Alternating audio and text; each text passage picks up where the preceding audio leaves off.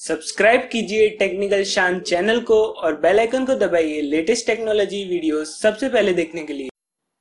तो दोस्तों, आज मैं लेके आया कुछ ऐसी न्यूज़ जो किसी के लिए हो सकती है गुड न्यूज़ या किसी के लिए हो सकती है बैड न्यूज़ तो मैं बात करने वाला हूँ टेलीकॉम इंडस्ट्री जैसे एयरटेल वोडाफोन आइडिया के न्यू अपडेट के बारे में। तो आप इस वीडियो को एंड तक ज़रूर देखें। मैं इसी बारे में बात करने वाला हूँ। तो नमस्कार दोस्तों, मैं हूँ शान भट्ट और आप देख रहे हैं technical Shaan. So let start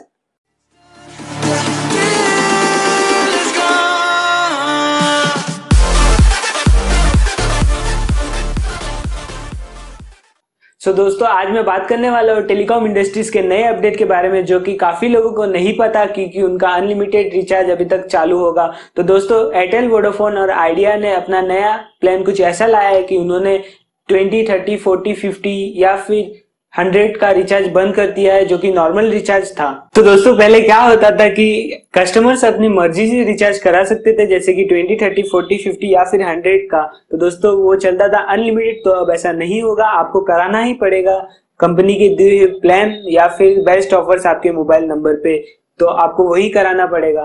तो जैसे कि मैं एक एग्जांपल दू कि पहले आप कराते थे फिफ्टी रुपीज़ का रिचार्ज जिसमें आपको मिलेगा थर्टी एट या थर्टी नाइन का कुछ रिचार्ज मिल जाता था तो आप उसको अनलिमिटेड यूज़ कर सकते तो अब ऐसा नहीं होगा।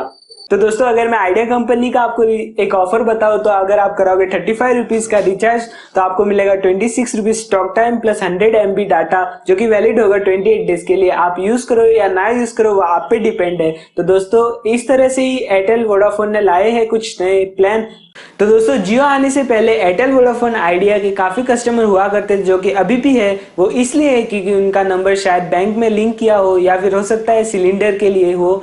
या फिर हो सकता है कि उनका नंबर बहुत पुराना, जो कि बहुत वायरल हो चुका है तो उसमें वो यूज़र्स ऐसा करते थे कि उसमें फिफ्टी रुपीज़ का रिचार्ज कराते थे, जो कि उसमें तीन महीने में सिर्फ़ तीन या पाँच मिनट ही बात करते थे। तो एयरटेल वोडाफोन आइडिया चाहते हैं कि आप उनके परमानेंट कस्टमर बने रहे, इसलिए उन्होंने सभी प्लान बंद कर दिए और लाए हैं अनलिमिटेड का प्लान जो कि वैलिड होगा ट्वेंटी एट डेज़ के लिए, ना कि अनलिमिटेड तो दोस्तों, अगर मेरी ये वीडियो आपको पसंद आई है तो प्लीज़ इसको लाइक करो शेयर करो एंड सब्सक्राइब ज़रूर करो।